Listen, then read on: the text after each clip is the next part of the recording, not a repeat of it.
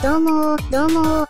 ニュース大好き、マスクにゃんです。3連休、あっという間だったにゃ僕は、ずーっと、うちにいたにゃん。みんなは、お出かけした？写真撮った？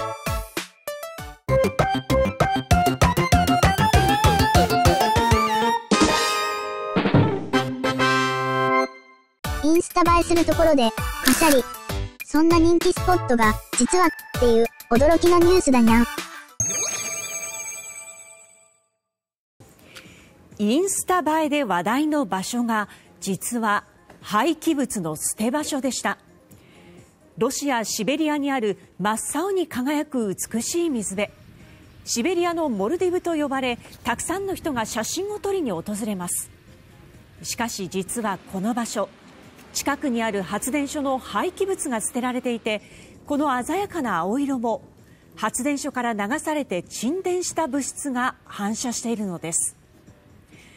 発電所を運営する会社は水質検査の結果有毒ではないと主張していますがアレルギー反応を引き起こす可能性があるため訪れた人には泳がないように注意を呼びかけています。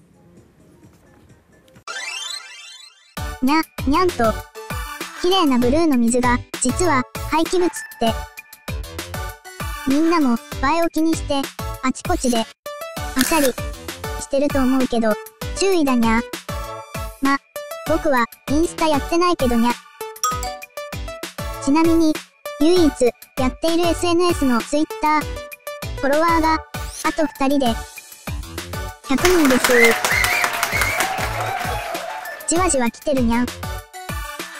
また見てにゃ。チャンネル登録よろしくにゃん。